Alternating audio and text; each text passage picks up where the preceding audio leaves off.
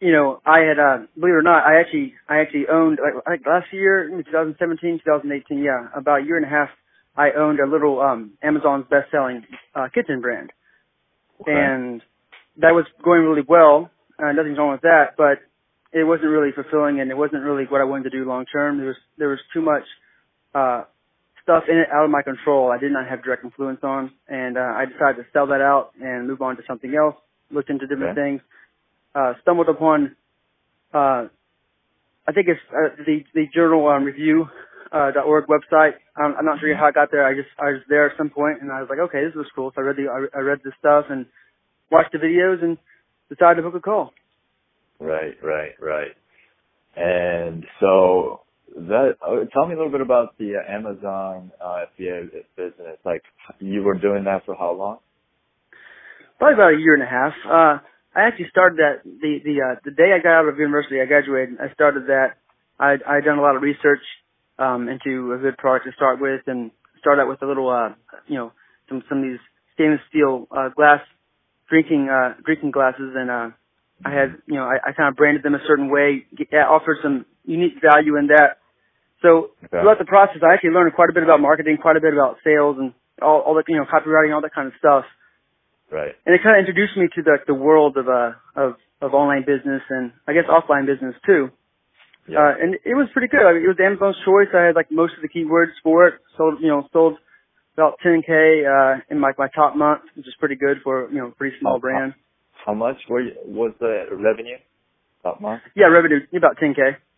10k. And what was the profit out of that? Like, Um, I would say I averaged about 35 35 percent profit, which is pretty good.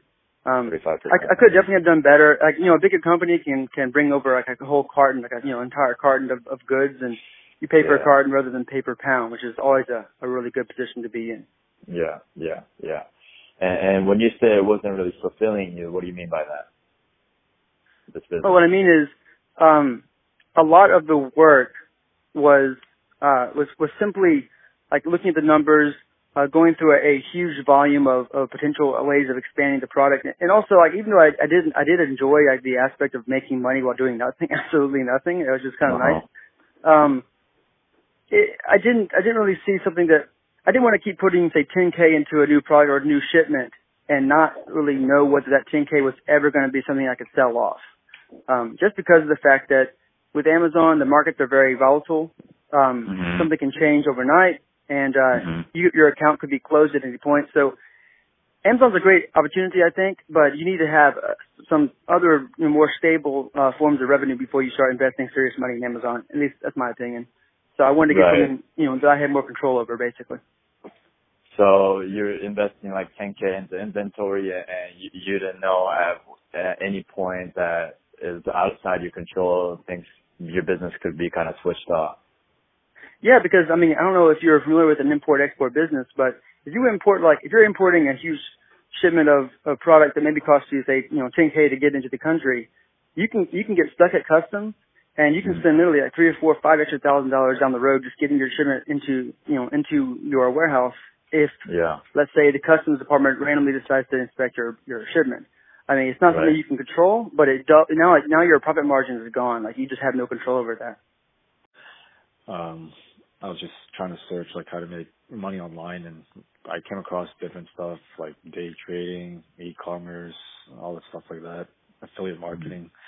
and of those of, and of those that I mentioned, I actually delved into day trading, which I lost all my savings, which was pretty stupid on my part. Mm. And I also did e-commerce, uh, Amazon, FBA, Mhm. did that. Mhm. But the problem with that was, so I had the, like I followed the, like I bought the course, I followed everything to a T, but nothing was happening. But if anything, I realized it's my fault. I probably could have made it better. But the thing is with Amazon FBA, it's, it's really competition. I mean, even if you have like the best product listings, there are other people out there that are gonna have the same, if not better. Mhm. Mhm. Yeah. So you just kind of ran into some some tough competition, and you weren't getting much leeway.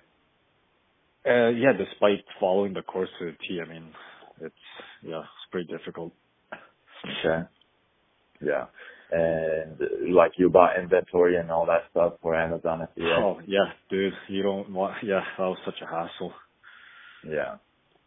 I mean, yeah, I mean that's that's that is um, one of the drawbacks to that business because there's so much setup that you have to do and, and before you even get to test the marketplace, right? Yeah, and like the thing was like as sorry sorry to interrupt. Like like I was watching some YouTube videos on how like these uh, you know gurus so to speak they uh promote their courses and whatnot, right? And some of them are promoting tactics which are totally against Amazon's policies and I was actually considering doing that but then, you know, if I did that everything that I would have done would have just been undone. So, you know, it just it wasn't worth it. It just Yeah, wasn't I- worth it. What do you mean by undone? Because Amazon could come and, and ban your account or something like that? Basically, yeah, basically in a nutshell. Yeah. So, you know, it, it mentions here that, you know, you, you were kind of following some Dan Henry's, uh, training, uh, Facebook ad kind of stuff, um, Yes. already. Yes. Tell me, tell me a little bit about that. Like, what's kind of like your experience with that? Um, it's it's good. I, I I think he does a really good job of putting together his, uh, you know, utilizing ClickFunnels, how to get bait, how to how to create Facebook ads, which which I'll, I'll be honest, Ippei, I I already knew Facebook ads, how to do all that already, and targeting Mhm. all that fun stuff because I I I did a Shopify store, um, Oh, sold okay. it, and then and coached some other Shopify owners in the past.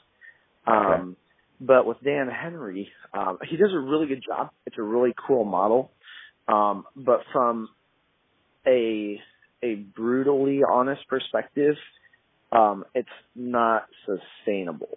Um, I think I've recognized it's it's not a good idea with Dan, Dan Henry's model to be Mhm. solely dependent on Facebook because if Facebook the internet is always going to be around, but Facebook Mhm. might not be there tomorrow. I mean, they're Yeah. they're they're constantly in the spotlight over this Russia thing, and their stocks are up and down. And and granted, they're not just going to go away tomorrow, but if Facebook ever goes away, that model with Dan Henry goes away with it. Um, and Yeah. so I enjoyed it. I think it was good, but I don't Mhm. think it's sustainable because Facebook ads, the cost went up for those, um, and Mhm. and it's you know it's it's it's reliant only on one stream of revenue um, Mhm. versus you know being having multiple channels. hmm Yeah, yeah. The challenge I had with Facebook ads was um, when when an ad exhausts its audience and it doesn't, it's not profitable anymore. You have to kill the ad. Suddenly, Yes. business comes comes to a screeching halt, I agree, hundred percent, right? hundred percent. So it's like, yes, you can make some money, but it's like how sustain, how long term can you can you keep that profit margin going with Facebook ads? Right. And that's the hard part. Because Yeah. you can have a home run at the beginning, but once you've, like, just like you said, I, one of the things I, I would do is I would get a lot of leads on the front mm-hmm. end, but then it kind of dries up and you turn it off and you have to try to retarget all of that fun stuff. Right. Um, so it's, it's, it's hard to sustain. Right, right, right. Um, so, on the contrary, what I've found in my experience is that you know when you build these lead generation properties that run on free traffic, once they're ranked, they're pretty much good to go, right? They they keep Right. generating traffic and, and leads on autopilot.